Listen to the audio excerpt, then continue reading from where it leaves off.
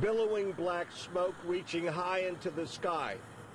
A one car accident turns into a fatal inferno on a Beltway overpass.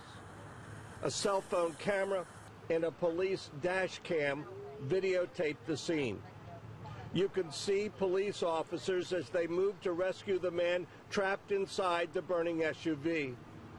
But the fire was too hot, the smoke too thick, and eventually they had to back away.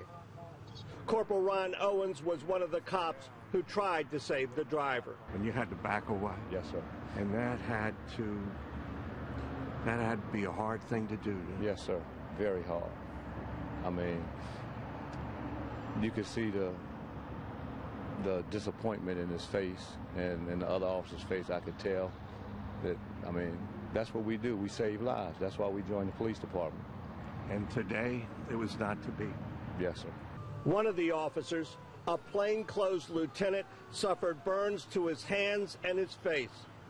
He had to be taken to the hospital. They say the SUV was moving at a high rate of speed. That it sideswiped the guardrail here, then went up onto its side and clipped the chain link fence. The chain link fence that keeps people and things from falling on to the beltway below. That SUV continued on its side onto the overpass where it burst into flame. Marcus Proctor, who took these cell phone pictures, he too tried to help, but he said he couldn't get close enough. It's tragic. Heartbroken.